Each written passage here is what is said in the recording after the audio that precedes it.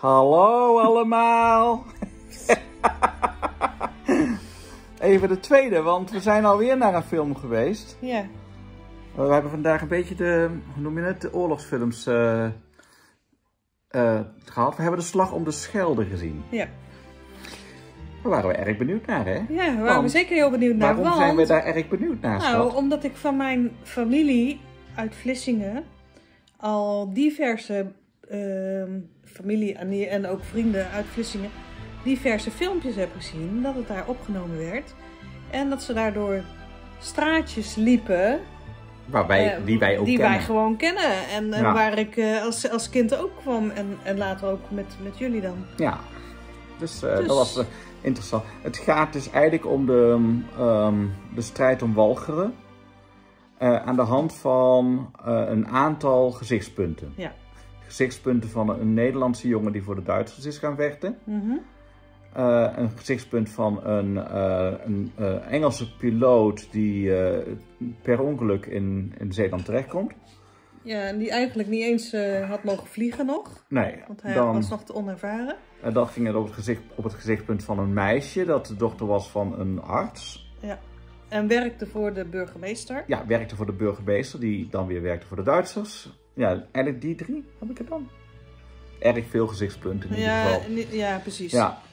En dat was ook een beetje, de, denk ik, de euvel van eh, het, het, het- iets wat de film een beetje zwakker maakte, Ja.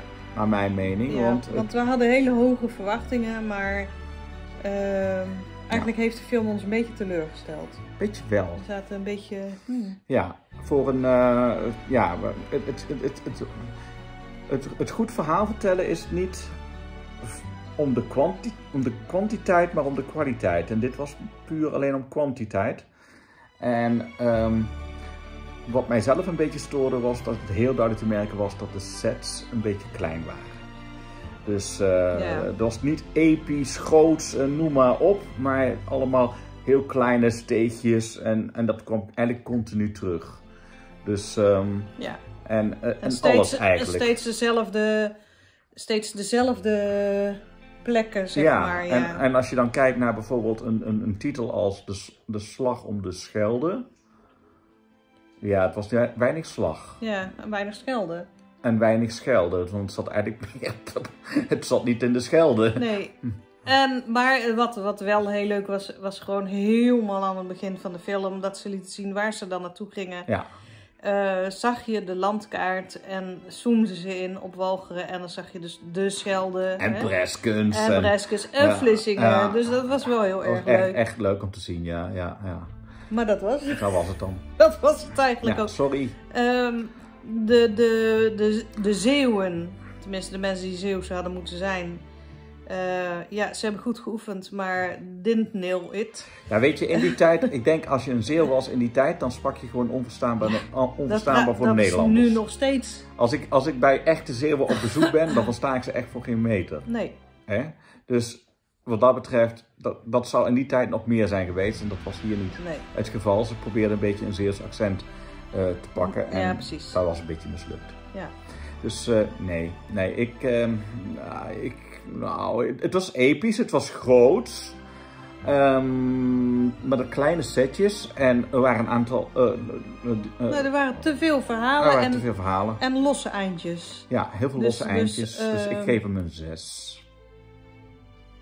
Dat vind ik nog eigenlijk best veel. Oeh, dat sta ik van te kijken. Nou, ik geef toch wel een 6, een, zeker een voldoende, omdat ik voor Nederlands eh, begrippen dit toch best wel iets groots vind.